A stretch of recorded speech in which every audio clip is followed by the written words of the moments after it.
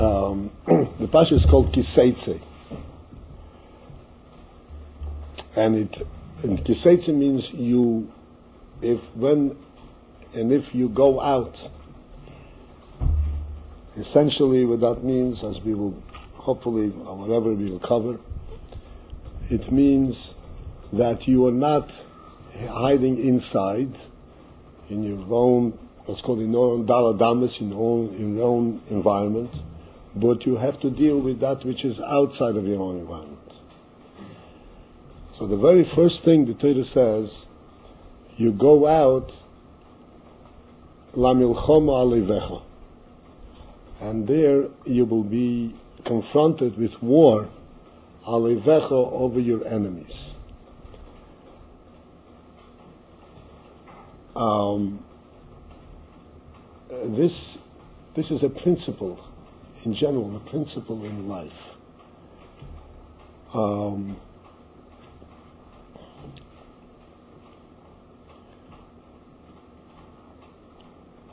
there are there are different ways to deal with with controversy, with different attitudes and different opinions and so forth. But then there is also a necessity that we have to identify when something is exactly opposite, is an oyev, is an enemy. Alter Rebbe, you all learned in Tanya, explains that in every yid there are two nefoshes, there are two souls. And what this means is quite literally that the very same person can want two things and they're completely opposite to one the other. And they cannot be reconciled. They cannot be reconciled. You know what reconciled means? No, reconciled means joined together, compromised. They're two opposites. And we have to know how to deal with these opposites.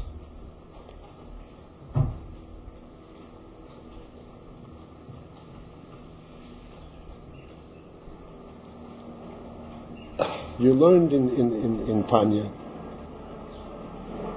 where the Alter Rebbe explains that there is these two nefoshes, the two souls, the two sources, two souls, if I want to translate it in a more practical, more direct fa- fashion, two sources of inspiration that a person can have. There's a source of inspiration that draws him to worldliness, and within worldliness, there is no limit that can draw him into that which is which is below the norm, below the below the the respectable level of worldliness. And then there is another source of inspiration that draws him to a completely different perspective, to godliness.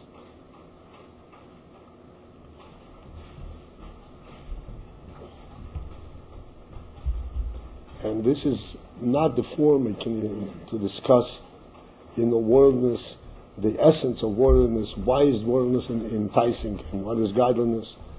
I just want to focus in on, on, on the words of the Pasha because, you know, generally speaking, we know what, what we're talking about.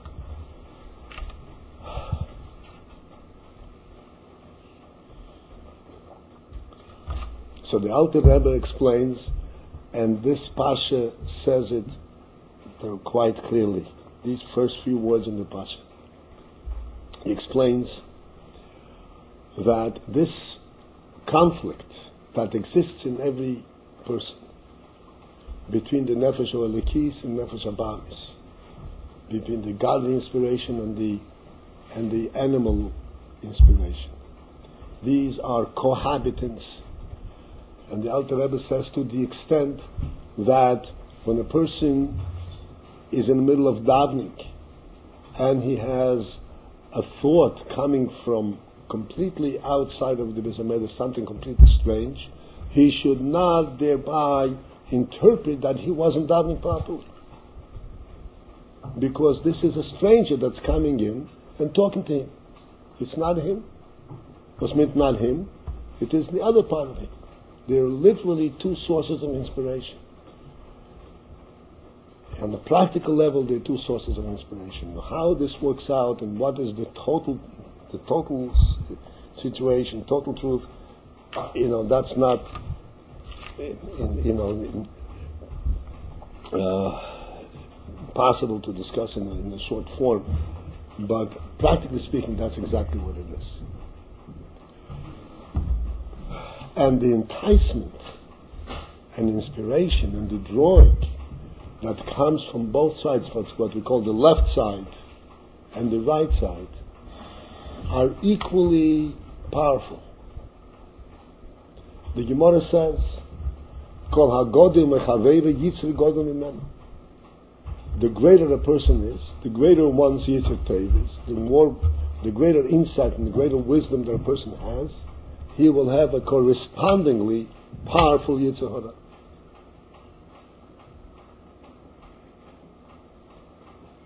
Which means that when you have these these two parts of the person clash and in conflict, there is no telling who is going to be victorious.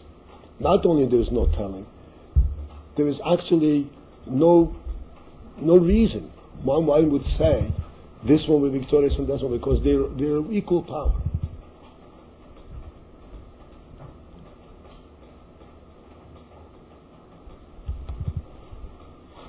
The Yetzer Toiv wants godliness. Like I said, is a source of inspiration of godliness.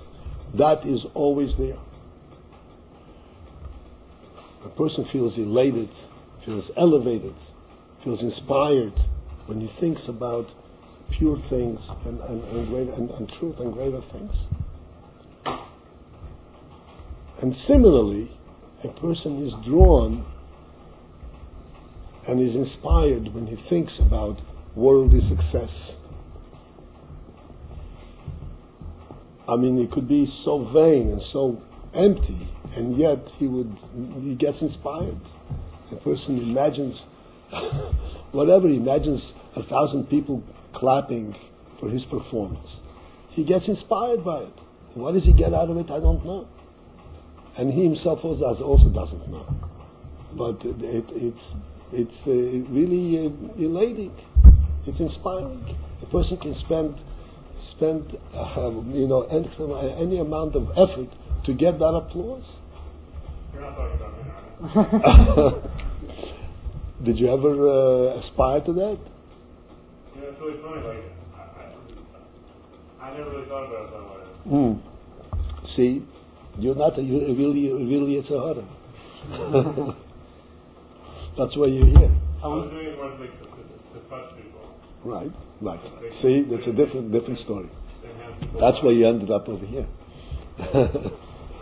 if you had really been inspired by by applause, who knows if you would have been able to overcome it. I mean, it's really vain Okay, I have a question. already. It started the first word you said. Okay, okay. Key. Why is it if we are all gonna be in this war, no? We all are at every moment. So why is it if you go out to war? Why isn't it when you go out to war? Ki means when. So why does everyone translate if? I also read if in the Chumash, if it translates.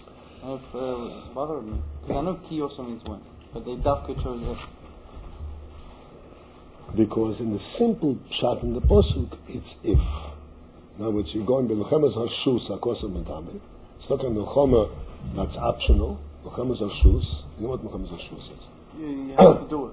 No, you don't have to do it. Milchemes harshus. Harshus means you're not fighting an enemy or one of the seven nations that you're obligated to Oh, okay, okay. You you have a war for whatever, whatever other reason. So eh, not every soldier has to go? Only who wants However, however the king sets it up, that depends on, Okay. on the rules on the land. To? I'll be clear, Okay. it's not. Official. Right. We will come back to this, Okay. to this Milchemes of Shus and so forth. But um, There is a Melchemes Rashus also. That, we'll, we'll get to it. But the Pashtus, it means when, like, like you said. Okay. In Erechnis, certainly, you know, we're all exposed to this war. So the Alter Rebbe explains that this is a war of equal power. And um, and uh, it's impossible to ignore, as vain and empty and meaningless the Yetzer Hara may- may be, it's impossible to ignore. But it's still enticing. But it's still whatever it is, and he can't he can't ignore it. So what's the answer? How does ultimately how do we make strides? How do we make progress? And the answer is, like it says in this parsha, and the Alter Rebbe says the same thing in Tanya.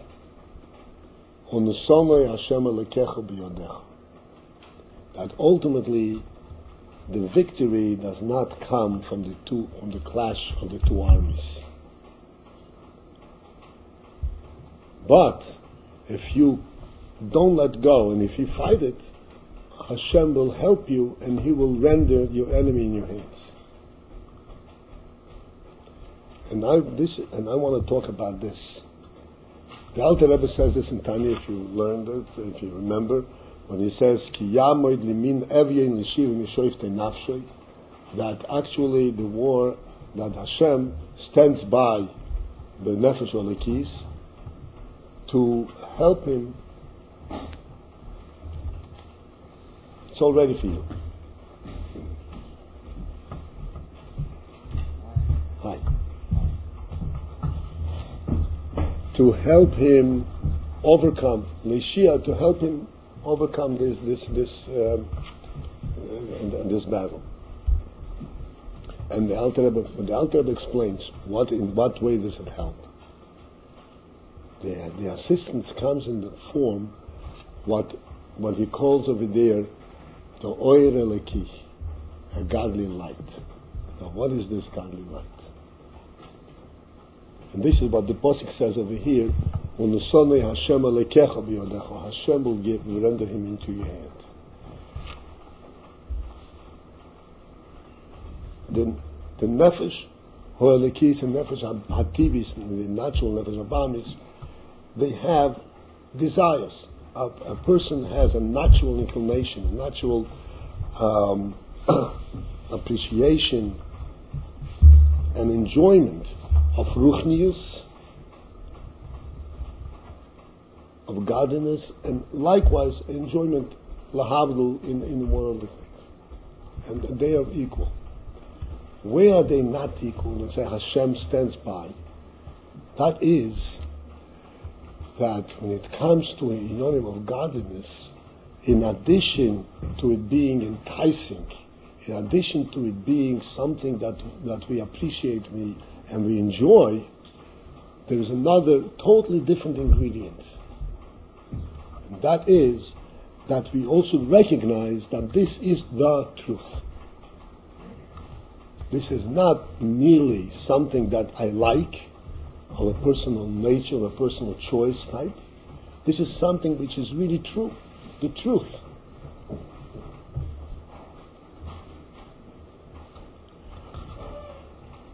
The principle of truth in this context, in the godly context, is completely is a completely different concept. And I will discuss this than what we call truth in the world.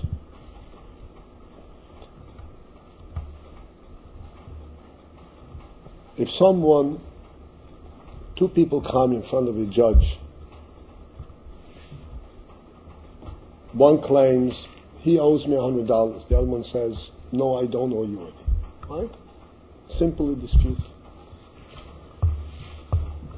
So then he goes out and he brings witnesses, or he brings a document, or whatever proof he has, that attests that he is correct, that he is right.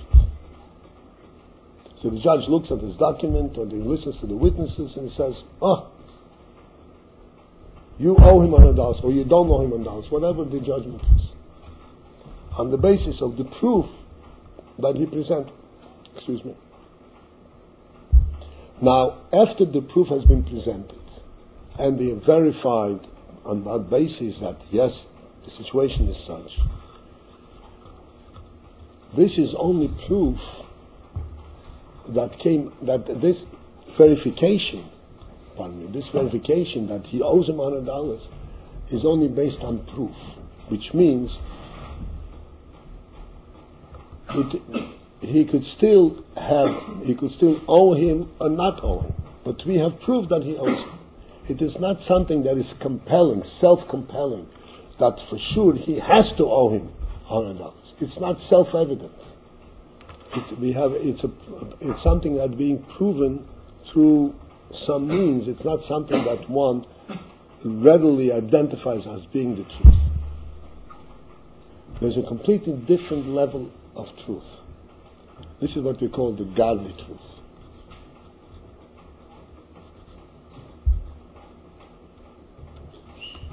We mentioned several times in these talks that which the Rambam says that the basis, he saw it, I say this way in the beginning, that the basis of all knowledge is to know that there is a first being that creates everything.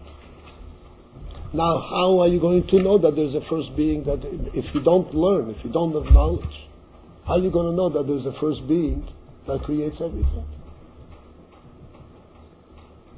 How do you know that? What's the answer? The answer is that this principal knowledge that is, is of such clarity, such a degree of, of, of um, certainty, of clarity, that it really does not need to be learned. It does not need to be proven. Because the human intelligence, the human mind, as such, when he observes um, a, a living entity, the living world, he immediately sees that this is not something that came by accident. He sees there was something, some, there's a source that made it. It's not a question of proof. It's a question of really of observation. Just as I've used this simple illustration that if you enter a hall, a, a, a catering hall, and you see tables set up and chairs and servings and place placemats and all that, you know that there is something being celebrated. Nobody has to tell it to you. Why? Because what you are observing is exactly that celebration. You're actually seeing it. The same thing is in the observation when you human, have to step back. A cat will walk into there. He will not see a celebration. It either he either see meat or he won't see meat, but he won't see a celebration. It's the human intelligence that recognizes something that is less corporeal, something that is not just being told and being proven, but some, but the, but the, he, he recognizes the the spirit behind that which he observes, and that's how he's he's certain. Beyond question, he doesn't need any proof.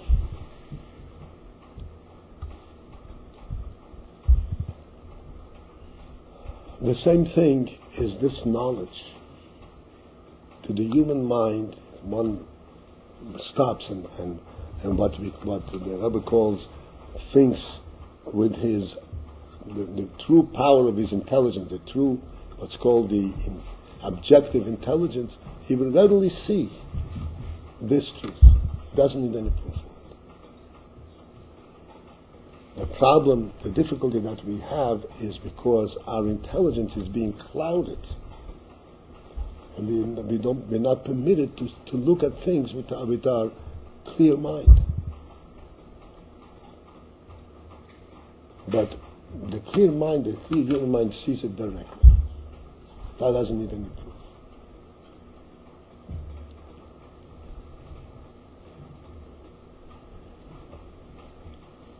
This is the type of truth that we're referring to when we talk about the godly truth. It is not a truth that needs proof because a truth that needs proof does not really present itself as a truth. You just know that it's true, but it itself does not really influence you. The Rambam says very interesting thing. Moshe Rabbeinu led the Jewish people for 40 years in the desert and performed numerous miracles. Right? Numerous miracles. I'm not looking to you, I'm looking to your brother. You know the story, right? You don't know that Moshe led the Jewish people for 40 years and performed tremendous miracles in the desert? Yeah. Right. And yet, the Rambam says that when the Jewish people ultimately accepted the Torah from Moshe and accepted his guidelines, his guiding hand in how they should set up their lives, it was not on the basis of any of, these miracles. Didn't say, oh, Moshe Rabbeinu said he should keep Shabbos, so we better believe him. Hashem wants you to keep Shabbos. Oh, we better believe him because look, he, he's proven that he did miracles. Hashem must have been talking to him. That wasn't the basis. Because this means that you know that he is telling the truth indirectly, not directly. And that's not, that's not sufficient. Because whenever you have what's called indirect proof, there is the Yetzer Hara that comes from the other side and says, well, I have indirect proof for something else.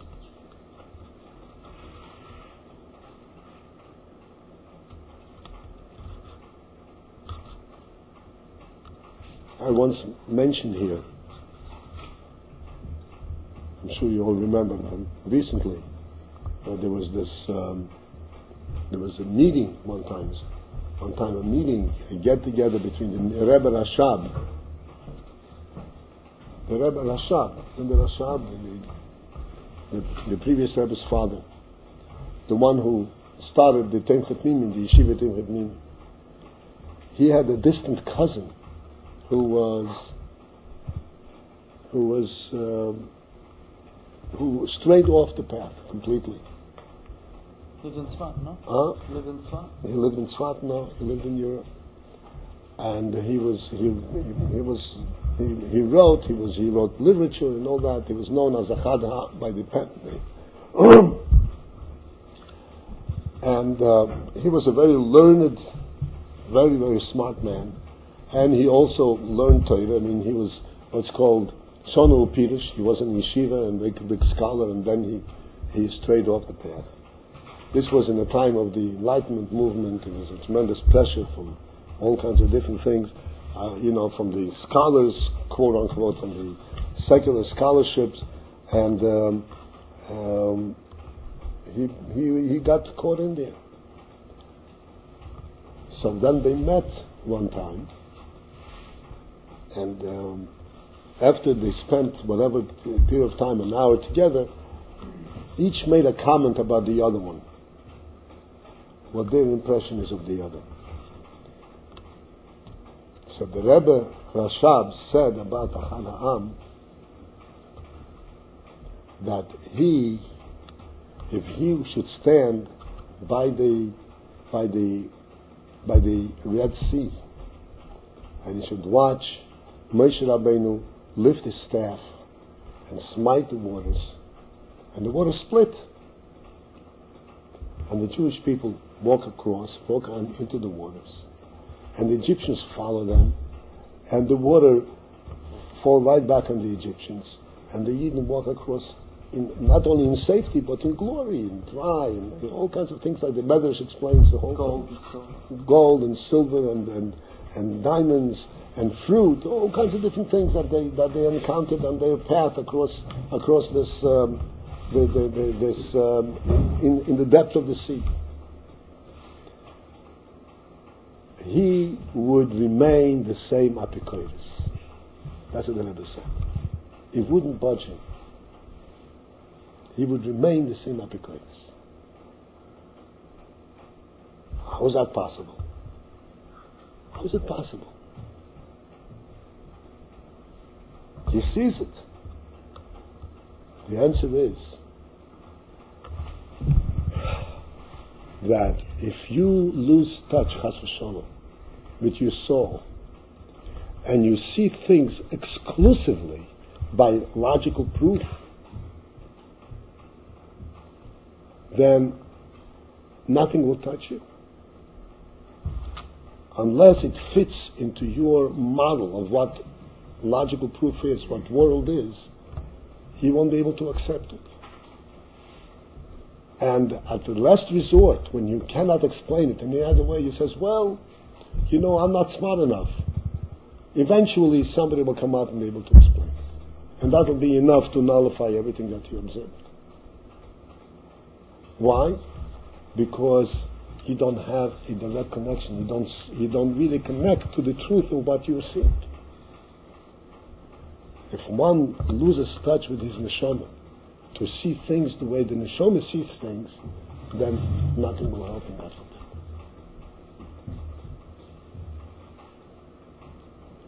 And this is what the Torah says, that when the Yetzer Toiv confronts the Yetzer Hara, the nefesh, the godly soul confronts the nefesh Abam is the animal soul.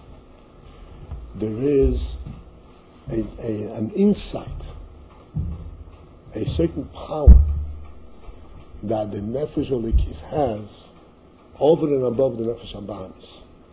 And that is that it recognizes that this which I see and this which I identify as godliness is not just something which I experience, something that I like, something that, that makes me feel good, but this is a truth, an undeniable truth.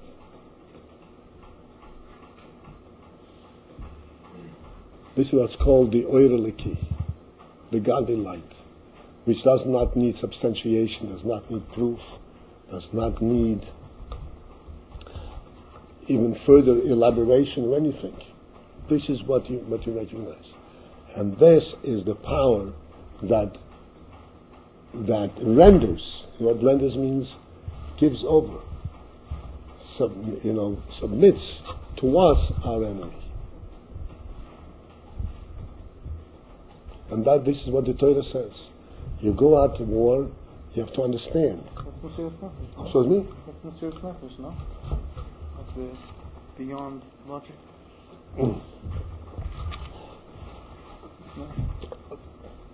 The Mesiras Nefesh is rooted in this. This is not Mesiras Nefesh. This is something which you actually experience. Hmm. But because of this, we are able to, we have, we have the power of Mesiras Nefesh, because of this insight. Hashem renders the enemy into your hand. This is how you overcome the enemy.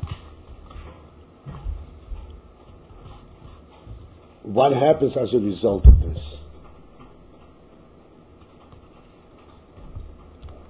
One would ask, why did I need this whole struggle for? Why do I need an enemy for? If I if I have the nefesh I have this godless soul, so that should be sufficient. Why do I need to, to fight the enemy?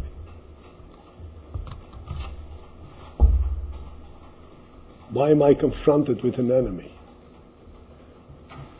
Which is a question that we discuss many times over here, because every one of us here has a kasha.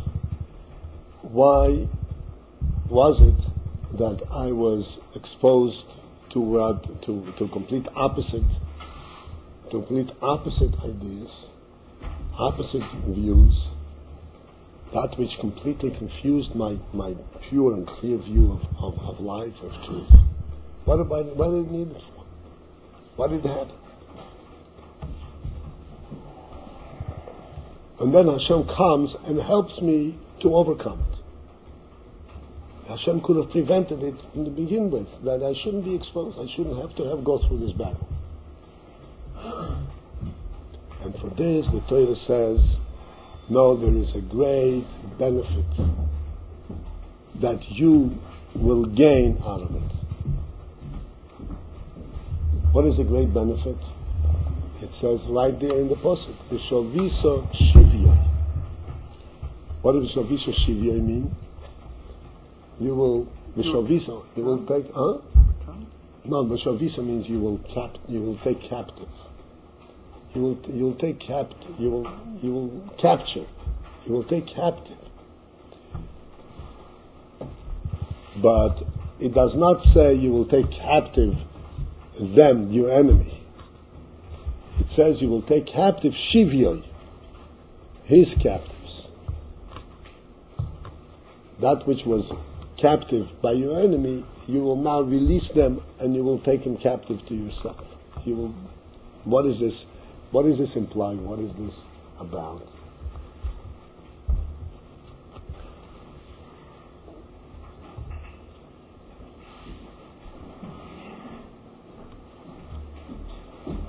So we will talk first the way it is pertaining to us, and then we will see how this translates in the posuk itself. What is explained on this in terms of Avodah Hashem is that we have to know that all that the nefesh habahamis, the animal soul, and the yetzer hara, and all evil in the world, everything draws its sustenance ultimately from godliness. Nothing exists independently of godliness.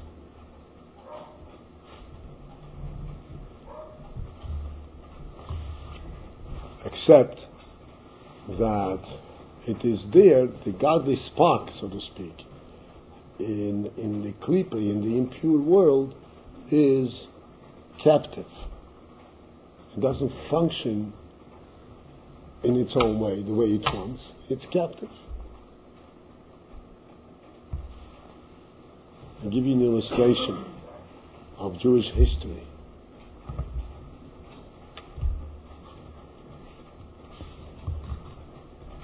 Not so far back, going back was even more. In the, in the Polish society, going back, let's say, hundred years ago, there were these landowners, landlords. Uh, they were known as counts, very wealthy. They were, they owned huge uh, areas, cities, whole counties, and they were what's called, you know, complete, had complete jurisdiction over over the land and complete jurisdiction over all the people that live there. So it is known that these very wealthy and the, the, these powerful lords and counts always used to have what they called a moshke. You know what a moshke is? They called the Jew by the name Moshke, uh, Moshe. Because the Jews, they were referred to as Moshe Rabbeinu's Talmidi, Moshe Rabbeinu's followers, called them Moshe. Why did they need a Moshe? Because this Moshe was the wise person. He was the one who was able to give him direction, was able to answer his questions, and give him advice on whatever questions that came up, whether it be personal, um, whether it be competition with his, with, in competition with, with, with other uh, uh, lords, or uh, in terms of entertainment, the moshki would come up whenever this, this count would, would sit with his friends and drink away, he would call his moshki that he should entertain them. And the moshki would come up and he would entertain them. He would, he would tell them stories. he would, he would, uh, um, sing for them, dance for them, whatever it is. So this, this was the Yid, this wise Yid. So he was using all his talent, all his God blessed talent that a Yid has. But he wasn't using it in the way that he would like to use it. He was using it as a captive of this guy who had absolutely no understanding of what what the Yid is, what what a Moshki is, and he would he, he completely abused him. But this is but the situation is that Eibershter has has put Yidden under their rule, and this is how Yidden lived for for, for centuries.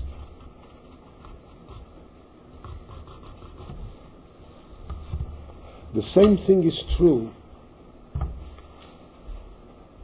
in in all evil. There is a godly spark of shiviyoi. There is good in there is a godly spark in all evil. And the point, the point and the purpose of this struggle is vishavisa shivi, is to withdraw and draw out from the from the evil power, to draw out the captive, the godly, the godly spark that's captive within it, and to draw it back into kedusha and to elevate it and bring it back into kedusha. So this is the way it is explained in Chassidus and Kabbalah. Now I want to speak about it in something close to us in more practical terms. How this actually translates in our own lives.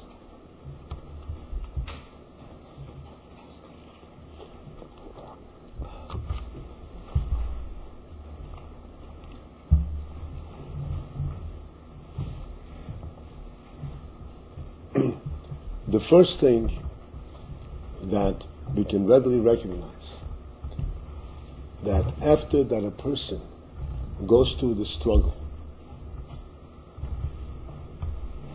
where where at first it was as you said an equal battle. He likes he likes godliness and he also likes worldliness and it was an equal battle. So then whichever path he chooses, his choice does not exclude the possibility of him the next time choosing something else. Because he hasn't really made the decision, he hasn't really made a, a conclusive choice that this is the truth, this is the path that I want. This is the only truth, the other is not true. After he goes through this battle, and he recognizes that that this battle is being won because because of the godly truth that they're in. Hashem Elekecha, Hashem has rendered him. It's not something that, oh, today I chose this way, tomorrow I'll choose something else. This is the truth, the truth that doesn't change. Today, yesterday, tomorrow, it's the same truth. Then he comes to a point where it's no longer a question of a, of a choice. Now I like this, tomorrow I like this. He, he, he comes to a point where he gets a clear view of what his path in life is. He no longer hesitates, no longer wobbles, no longer doubts. He has a clear view of his path.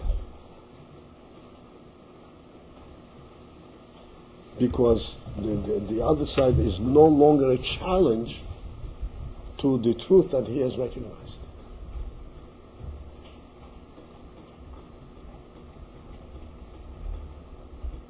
What this means in, in, in you know, in terms of avoidance, it means that one has actually overcome, one has actually nullified the power of the of the of the impurity to the point where he says it's not it's not enticing. Why? Because there is a greater truth and a greater value which is beyond any that beyond any interest that this can that this can uh, can possibly present to me. You say you reach a level where he has no cheshek to do anything wrong, or just, No. it's clear in his mind what he needs to do. No, that's right. To no cheshek, he still has a cheshek, but it's not a challenge anymore. It's not a question of, okay, I have a cheshek, I have a desire to do this. Maybe I should do it. You know what I'm saying? Who knows? Maybe this is maybe this is the source of success. Why here? Ah, That, he has no shy, no question about that. he knows that's emes and that's fun, but That's right. But but this the, it's no longer confusing to him. He's no longer captive. that he can possibly be actually drawn near. Yeah, it's still possible he will sometimes fail, but he knows that this is insignificant. This in no way is he going to choose that path in life. Because Hashem Alekecho, Hashem has given, has rendered, because he waged the war, this is the whole thing, because he says it because he waged the war, he didn't give in. Hashem, then it, it was, uh, became obvious to him on which side Hashem is, where the truth is. And once he recognizes what the truth is, there's no way that he is going to fall away elsewhere. And this is ultimately the great benefit of this war.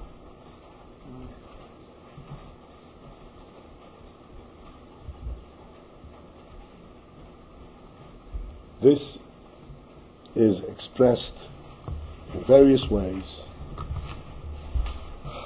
but one most commonly quoted um, saying is actually from the Gemara itself, the Gemara says, Mokim Shabbalat Shuva Oimdim Tzadikim Gemurim Ein Oimdim Ein Lamed, however the, the version is, that the place where the Shuva stands, Tzadikim cannot stand. Why not Tzadikim? Tzadikim were never impure, so how, why can they stand over there? Tzadikim have fakers? have questions about what's emes and what's not? They haven't, they haven't, no, they don't have any questions what's emes. The thing is, the difference is this.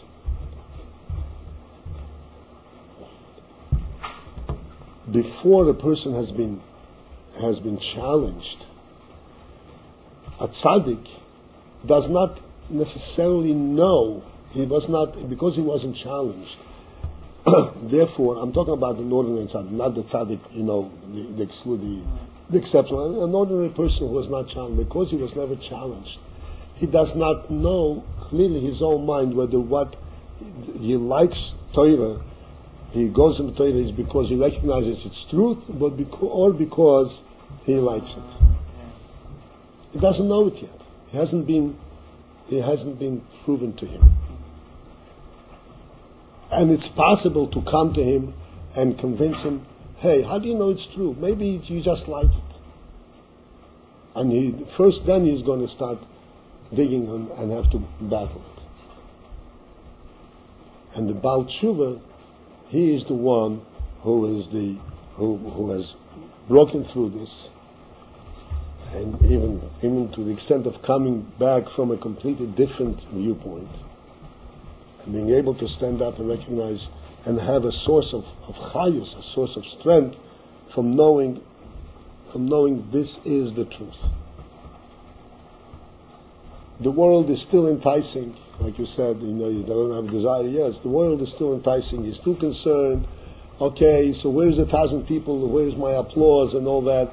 that shtusim is still there, but but he also has a completely different strength with which to to confront it.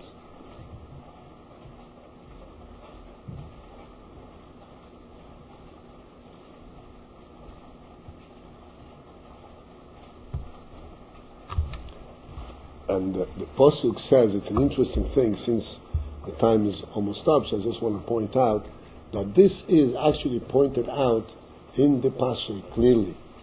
Because Rashi says, if you remember Rashi, what Rashi says, Vishaviso Shivyoy.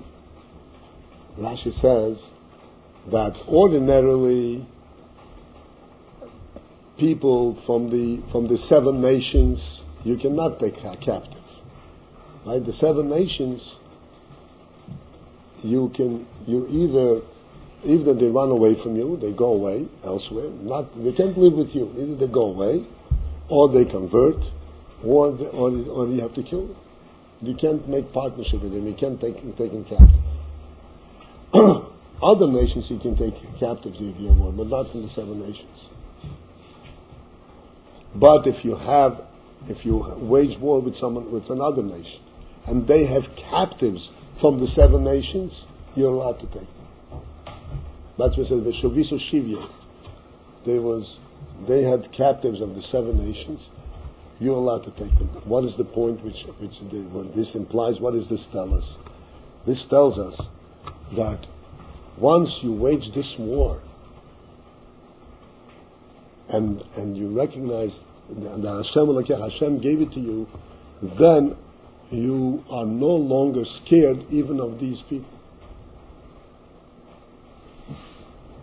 You, in other words, you are, you are assured you, you can take even that which is further out in Kalipa and elevate even that, which normally you wouldn't be able to do.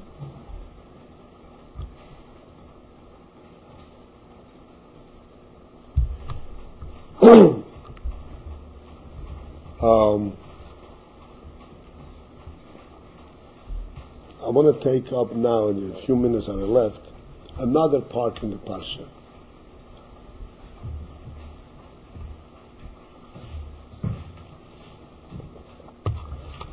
Which is also extremely revealing and instructive to us. And that is the, the whole inyan of Kilayim. You know what Kilayim means? Kilayim means, means mixing different species. But it doesn't necessarily mean in, reproductive fashion. Because, for instance, we can't mix wool and linen. If you take wool and linen and you weave them all, both into the same cloth, in the same garment, we're not allowed to wear it. But you didn't, you didn't really change the wool and linen, nothing happened. You're not allowed to. The same thing, a similar union, where you, you're allowed to take two animals, two different species of animals, particularly if one is a kosher animal, one is not a kosher animal. Like Shoyer Vachamoy, the Torah says, an ox and a donkey. and and saddle them, attach them to the same wagon and pull the wagon together, he's not allowed to. And several other things of similar fashion where the Torah insists that we keep things separate. Huh? It's like a chukah. Shatnez, it says Beferish is a chukah. In the other case, in the case of the animal, um, you know, there is some sense, some idea that we can explain they have different natures and different uh, inclinations, that you, you're causing them pain, even though it's also a little bit far-fetched. But shatnez, you mix wool and linen, who suffers by it?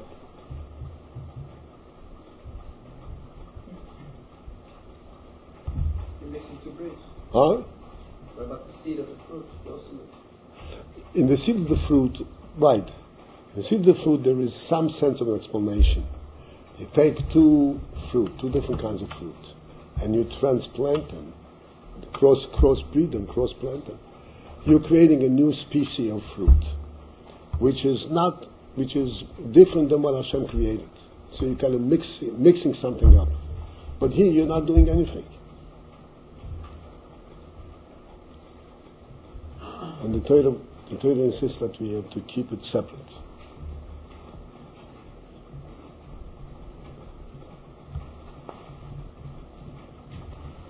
Um, what is this principle? Particularly, what principle do I want, do want to focus in over here?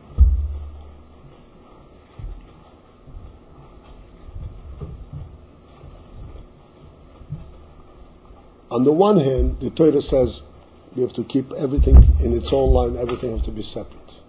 In its line, the way Hashem created it. Similarly, excuse me, um, by the tribes, when Yidden came out of Mitzrayim, immediately, upon coming out of Mitzrayim, they were divided along the lines of the tribes, of the Shvatim. Reuben, Shimon, Levi, all separate tribes when they settled, when they, as they were traveling in the desert, they were identified separately. It's one nation. Why do you have to separate them? When the entered Israel, each Shevet was given its own its own stretch of land.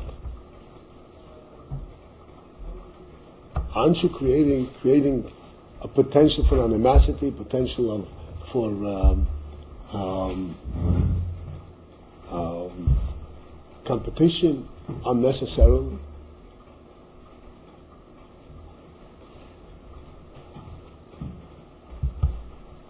What is the, the what is the, what is the Torah teaching us?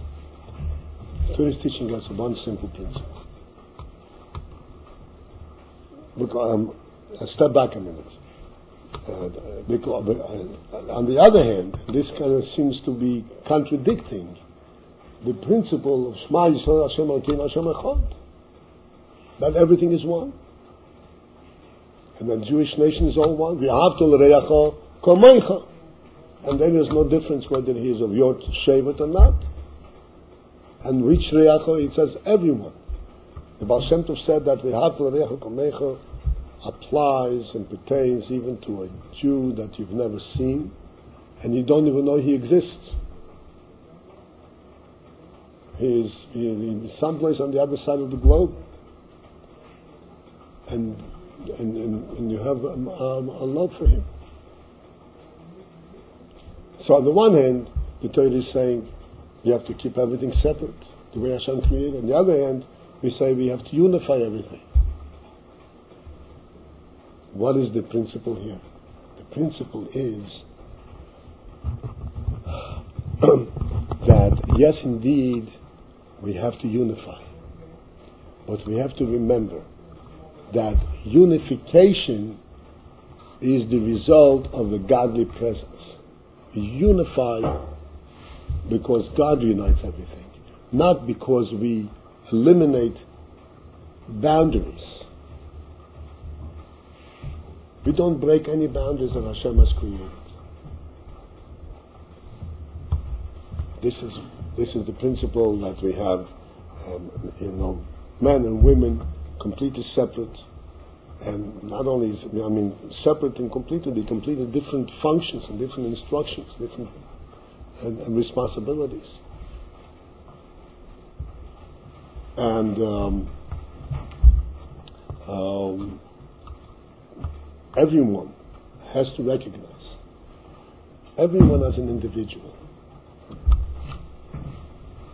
There's an interesting emphasis both in Kriya Shema and in the Aseres Hadibris, in Ten Commandments. In Aseres Hadibris, Hashem revealed himself to the entire Jewish people as one. And what did he say? Onoichi Hashem Eloikecha. In singular form. He didn't say it in plural, Hashem Elokeichem. He said it in singular form, Hashem Eloikecha. The same thing in, in Shema Yisrael. We start saying Hashem Elokeinu, our God, and then we say V'ahavto as Hashem Elokecha, which is in singular every individual person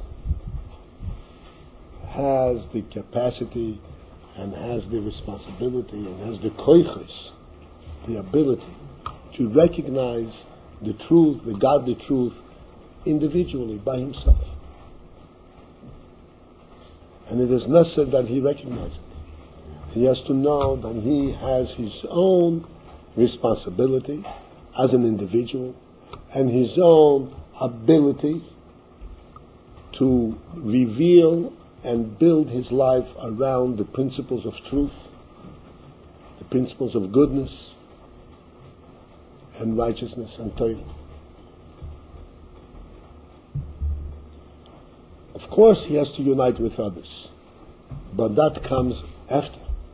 After he recognizes that the world belongs to God, then he recognizes, oh, we're all one under God. But to start with, he has to know his own, his own mind, his own path. And this is, in fact, a very important antidote to what we spoke about before. I don't, I don't mean you, believe me. Um, we, start, we get all excited about a thousand applauses, where we say that my whole mitzvah my whole You know, who am I? What, what identifies me as an important being? Oh, I have a thousand people attesting that I'm, that I'm, that I'm a great performer. That makes you? No. First you have to have your own values. You have to have your own values that Hashem gave you as an individual. Then if you have something to contribute to others, fine. But to say that the world is what makes you, that's, that's, that's the opposite of Kedusha, the opposite of truth. This is why why the Torah teaching is in, in, in all kinds of different ways. That every each individual has to have his own path, his own life, his own responsibility. and then when he recognizes Hashem's presence in his life, then of course he joins in with others.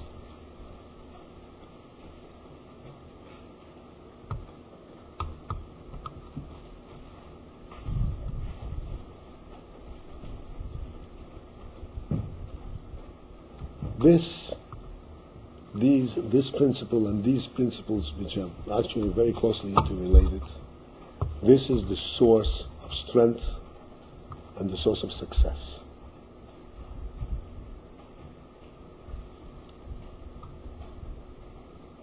I'm sure I don't have to go and elaborate, but simply put, everyone recognize that if he does not find his own truth, does not and does not follow the truth as he sees it,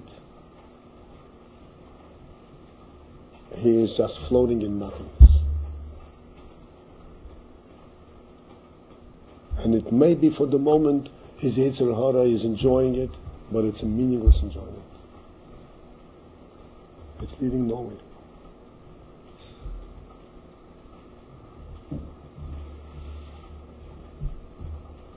Everyone has to know that Hashem gave him his own neshama, his own struggles, and his own strength to overcome his struggles. It doesn't mean that he has to do it without help, but he has. But when he gets help, he has, he has to do it. When he gets advice, when he learns, and so forth. When the son of Hashem Hashem gives you, gives him, renders him into your hand, but you go out to war. You have to wage the war. You have to make every effort to find it, to find the strength and find to how to do it. This is the source of success. And this is the only way that we can build our lives and build our homes in Mitzvah. We can duplicate, we can be imitators. We have every person, every person is a new world. And the Mishnah says, Am Kaim Nefesh Achas so one who who saves, who, who sustains one soul by him, he sustains the whole world because everyone is a whole world, new world. And he has to know that he has to build his own world. Build his own world means he has to find his own truth, has to find his own clarity, clear path, and that's what we build. And building his own world does not mean just in terms of supporting himself financially. That's that's insignificant. It is every person said the Mishnah says, the Gemara says, Ein de Seyem Shavis. No two people think exactly alike. And everyone is a contributor to the entire spectrum of, of Jewish life. Is a contributor. The Rebbe has insisted that everyone has to be a mashpia and a matam. Which means to be a mashpia means that he has to have a clarity of vision on his own to teach others. This is the source of blessing. Hashem will bless you all. That you should first, in, while in yeshiva, gain this clarity of vision, gain that, that strength, and Mitzvah Hashem, build your homes on solid and, and, and, and foundations. And never be confused by the enemy. And I wish you should have 10,000 apostles.